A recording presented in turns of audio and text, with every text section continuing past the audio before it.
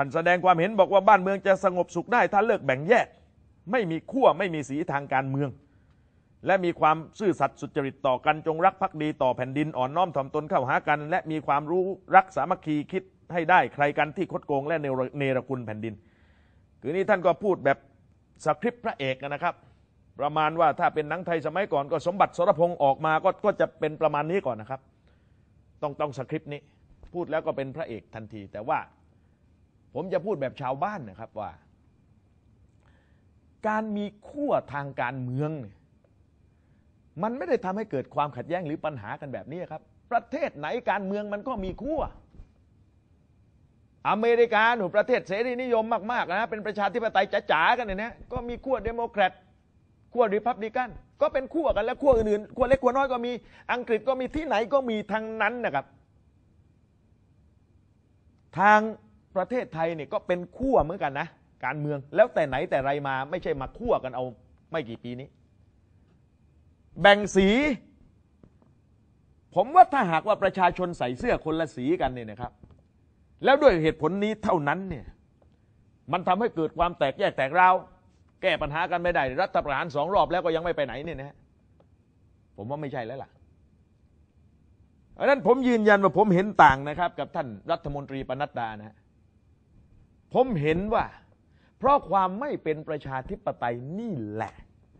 มันจึงทำให้คนบางกลุ่มเนี่ยคิดว่า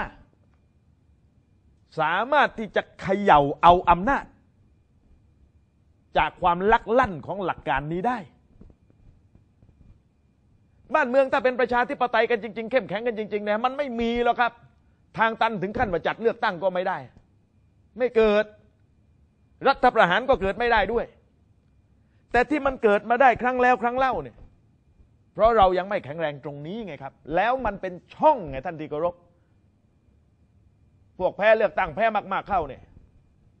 เล่นในกติกาก็เล่นยากแล้วครับ เพราะว่าชาวบ้านไม่กล้าให้ ก็เลยเล่นอย่างนี้ฮะเพราะเห็นว่ามันไปได้ช่องนี้แล้วท่านดูสิครับ สิ่งที่เกิดขึ้นก่อนรัฐประหารปี 49 กับสิ่งที่เกิดขึ้นก่อนรัฐประหารปี 57 เนี่ย มันบทละครพล็อตเดียวกันเลย มันไล่มาเป็น step step อย่างนี้ครับ เพราะนั้นบทละครพล็อตนี้เนี่ยนะฮะถ้าเอาร่างฉบับที่คุณมีชัยเพิ่งแถลงเนี่ยไปบังคับใช้เนี่ยมันก็เกิดอีกครับ ถ้าผลการเลือกตั้งไม่เป็นไปตามที่เขาต้องการ แล้วคราวนี้เนี่ยง่ายกว่าด้วยเพราะอะไรฮะเพราะไปใส่ดาบในมือสารรัฐธรรมนูญ ให้สามารถที่จะสำเร็จโทษรัฐบาลที่มาจากการเลือกตั้งได้ ไม่ต้องรัฐประหารไม่ต้องหลักรถถังกันมา การรัฐประหารเบ็ดเสร็จอยู่ในรัฐธรรมนูญฉบับนี้ นี่คือผลงานของเนติบุริกร ผู้รับเหมาร่างรัฐธรรมนูญของคณะรัฐประหาร ดังนั้นผมก็มีความเห็นอย่างนี้นะครับ การจงรักภักดีสุจริตต่อแผ่นดินอะไรไม่มีปัญหาแล้วครับ ตรงนั้นน่ะใครมีคุณสมบัติแบบนี้ก็ถือว่า เป็นเรื่องที่ชาติบ้านเมืองจะเกิดประโยชน์ แต่ว่าสาเหตุของความขัดแย้งเนี่ยนะครับ ผมย้ำอีกทีเป็นครั้งที่ 400 กว่าในรายการนะครับไอ้เสื้อแดงเสื้อเหลืองเสื้อนกหวีดหรือว่าบรรดาอะไรต่อมีอะไรกลุ่มก้อนต่าง ๆ ที่มันเกิดขึ้นในห่วงสิปีที่ผ่านมาเนี่ยไม่ใช่เหตุครับ นี่คือผล ผลของความไม่เป็นประชาธิปไตยผลของความขัดแย้งระหว่างเสรีนิยม กับอนุรักษ์นิยมที่ต่อเนื่องยาวนานกันมาหลายสิบปีดังนั้นท่านจะเอาใครต่อใครไปนั่งกรรมาธิการสันติสุขจินตรา ที่สนชเขาปั้นนักปั้นหนาว่าจะต้องตั้งให้ได้เนี่ยนะยังไม่เกิดนะครับบางคนพวกนี้เจอหน้ากันจริง ๆ ก็ไม่ใช่คิดจะฆ่ากัน เพราะมันไม่ได้เป็นศัตรูกันมาแต่ชาติปางไหนฮะ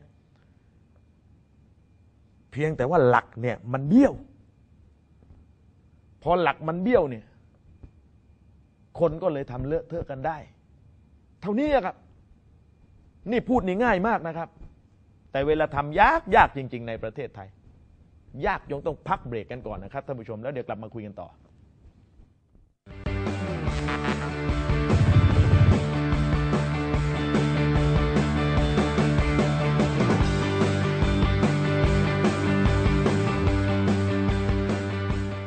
ตกลง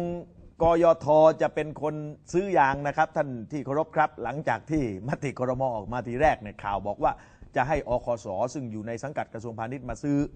ซึ่ง ผมรวมกระทั่งอีกหลาย ๆ คนเนี่ยนะฮะที่เขาได้แสดงความเห็นกัน ผมก็บอกว่าจะซื้อได้เหรอมันจะมีปัญหาหรือเปล่าในขั้นตอนการปฏิบัติเนี่ยเพราะว่าอคสไม่ได้อยู่ในสนามการซื้อขายยางมาเลยเนี่ยนะครับแล้วอยู่ๆเดินเข้าไปในยามวิกฤตเนี่ยโอ้โหดูไม่จืดเลยครับท่านที่เคารพกว่าจะตั้งหลักตั้งลำกันได้ ก็พอดีอะราคายางดิ่งลึกไปถึงไหนไหน ทีนี้กยทซึ่ง ว่าไปแล้วก็เป็นหน่วยงานใหม่นะครับท่านที่เคารพเพราะว่าเพิ่งตั้งตามพรบการยาง แต่ว่ามันเป็นหน่วยงานที่ยุบรวมเอาอองค์กรเรื่องยางเนี่ยเข้าไปอยู่ในนั้นทั้งหมดนะครับใหญ่ ๆ ก็คือกองทุนสงเคราะห์การทำสวนยาง หรือกสกย แล้วก็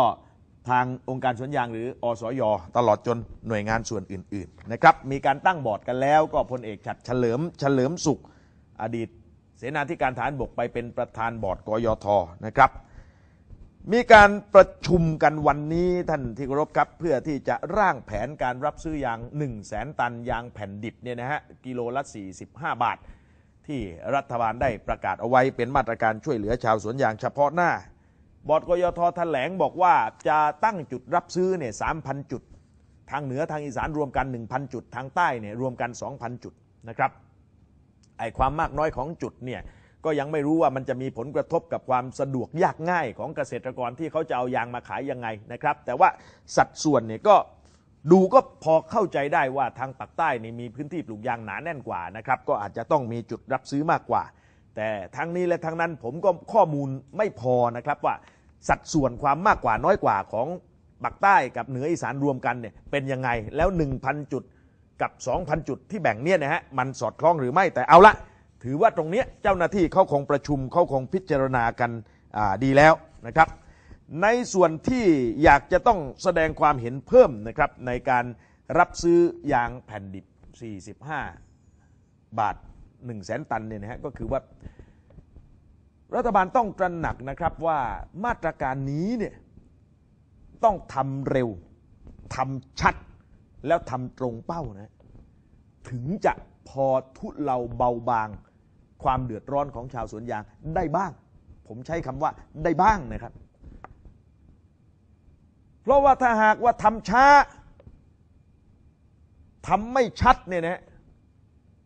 ผลมันจะกลับตรงกันข้ามนะมันจะทำให้สภาพราคายางเนี่ยดิ่งหัวลงไปอีก ปลายสัปดาห์ที่แล้วเนี่ยนะครับ ทันทีที่มีข่าวว่ารัฐบาลเขาจะซื้อ 45 บาทเนี่ย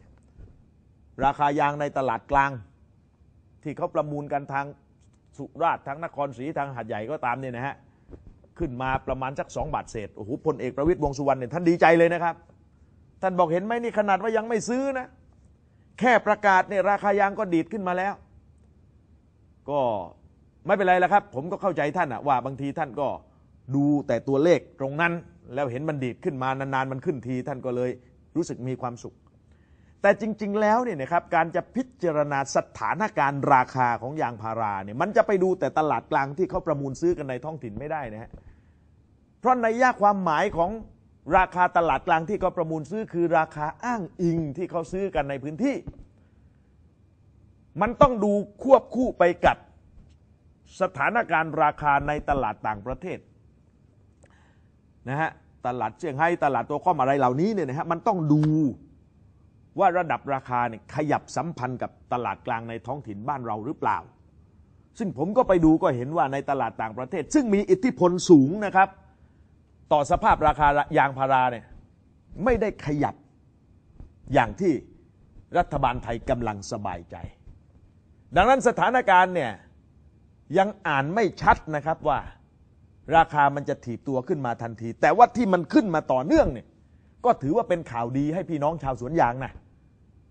เจ็บปวดอกสั่นขวัญแขวนกันมานานให้มีข่าวดีบ้างก็ อย่างน้อย ก็ยังพอได้ยิ้มเห็นไรฟัน ทีนี้สัญญาณที่พอรัฐบาลประกาศจะซื้อ 45 บาท ราคาขึ้นทันที 2 บาท 2 บาทกว่านี่นะฮะอันนี้รัฐบาลต้องใช้แว่นขยายส่องเลยนะครับ ว่ามันเกิดจากอะไร เกิดจากการขยับตัวของราคาที่เป็นธรรมชาติหรือแท้ที่จริงแล้วบรรดาพ่อค้าหัวแหลมน้ำลายไหลทั้งหลายเนี่ยออกไปลงมือกว้านซื้อแล้ว ซื้อเพื่ออะไรครับ ซื้อเพื่อมาเก็บไว้ในสต็อก แล้วกะว่าเอามาขายในราคาชี้นำของรัฐบาลก็กำไรเห็นเห็นน่ะยางมันสามโลร้อยสี่โลร้อยอยู่เนี่ยแล้วซื้อมาปั๊บกลับไปขายไม่กี่วันได้ 45 บาทนี่ก็เนื้อเนื้อๆนะครับท่านที่เคารพครับ อันนี้ต้องดูนะฮะ แม้ว่ารัฐบาลบอกว่า จะกำหนดไว้เลยว่าเกษตรกรรายหนึ่งเนี่ยซื้อไม่เกิน150กิโล แต่เชื่อผมนะครับ ในยุทธจักรแบบนี้เนี่ยจอมยุทธมันเยอะครับ ไอ้พวกประเภทหาช่องหาทาง หาเหลี่ยมหามุมเนี่ยต้องจับได้ไล่ทันนะครับ แล้วเจ้าหน้าที่เนี่ยก็อย่าไปรู้เห็นเป็นใจกับพ่อค้ากับนายทุนเขาน่าเห็นใจชาวสวนยางบ้าง เพราะเขาเดือดร้อนจริง ๆ นะครับ นี่ไม่ใช่เกมการเมืองอะไรแล้วล่ะไอ้นี่ในเรื่องปัญหาเลยครับที่มันถึงเนื้อถึงตัว ลูกหลานคนสวนยางหลายคนเนี่ยต้องหยุดเรียนแล้วนะครับไอ้เรื่องรถถูกยึดหรืออะไรเนี่ยอันนั้นเนี่ยเป็นเรื่องที่เขาเลิกคุยกันไปแล้ว ตอนนี้เนี่ยมันถึงกัดเนื้อตัวแล้วมันมาถึงวิกฤตที่ ชาวสวนยางกรีดยางไปเนี่ยนะครับ น้ำยางก็ไหลน้ำตาก็ไหลนะครับ นี่มันเป็นแบบนี้ เพราะฉะนั้นรัฐบาลเนี่ยนะเวลาจะไปแก้ปัญหา เวลาจะไปพิจารณาดำเนินการเนี่ยผมก็ว่าต้องรอบครอบรัดกุมนะครับ แต่ว่าไม่ใช่รัดกุมจนช้าจนงุ่มง่าม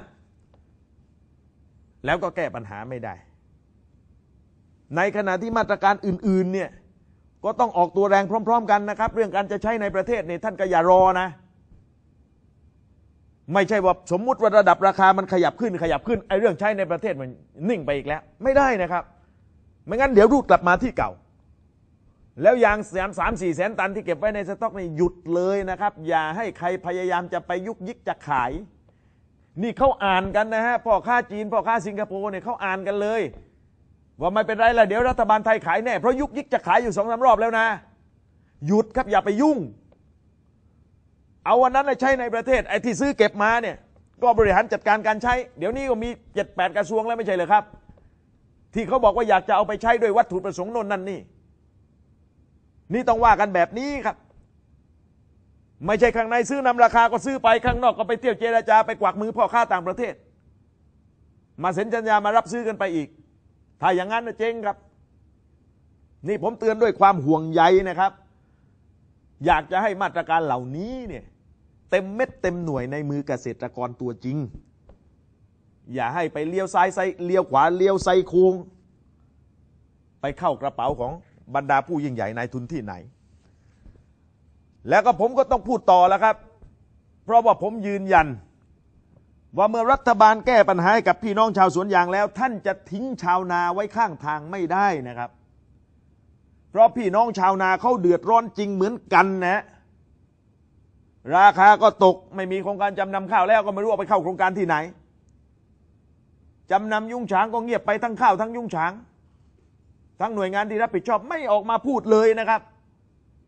ว่าจำนำกันไปแล้วกี่ยุ้งฉาง เกษตรกรชาวนาได้รับประโยชน์กันไปแล้วเท่าไหร่ยังไงไม่พูด แล้วแรงเข้าไปอีก เรื่องปลูกหมามุ้ยเรื่องอะไรนี่ผมจะไม่พูดต่อแล้วนะครับเพราะผมเห็นตำรวจเขาเรียก คนที่ให้ข่าวเรื่องปลูกหมามุ้ยไปคุยที่จังหวัดอำนาจเจริญผมกลัว อยู่ยากแล้วครับเกษตรกร คือปลูกหมามุ้ยแล้วไปขายแล้วมันขายไม่ได้ตามที่ตกลง ก็ร้องเรียนสื่อมวลชนพูดเป็นข่าว